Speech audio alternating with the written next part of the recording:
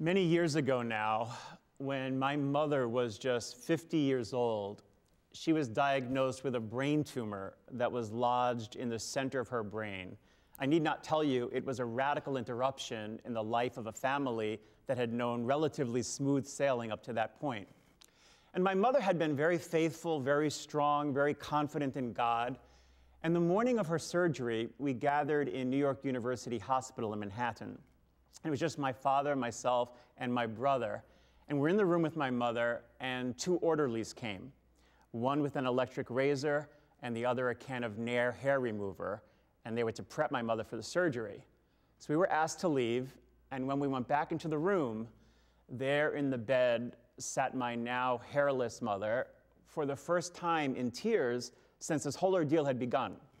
And of course, my father and my brother looked at me, the priest's son, as if I was to know what to do.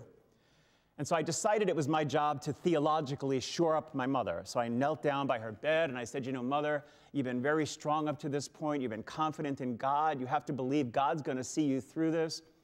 And she stopped crying and she looked at me and she said, Edward, I know all of that. And I said, But but you're so upset. You have not been this upset since we found out about this tumor.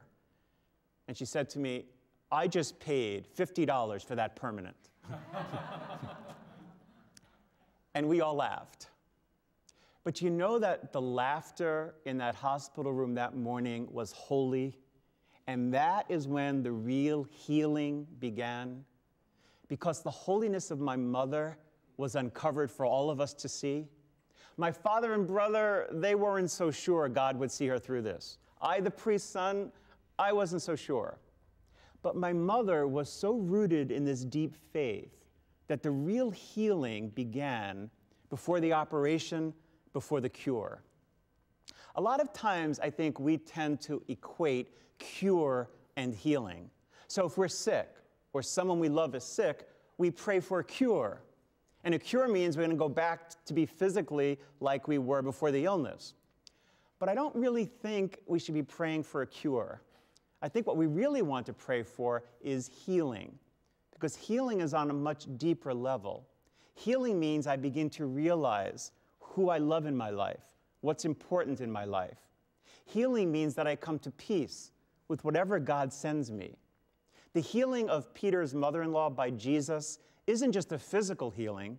She then serves Jesus. And it doesn't mean she goes out and gets tea and crumpets for Jesus. It means now she recognizes this is the Lord and Savior. Her life is changed by the healing. The cure and the healing go together. I know the story of this man named John Graham who was diagnosed with cancer and he was told he was terminal. And when he heard the news he was going to die, everything in his life changed he began to do none of the things that were unimportant, that weren't essential. And he began to focus on all the things that really mattered in his life. He reconnected with a kid that he hadn't talked to in six years.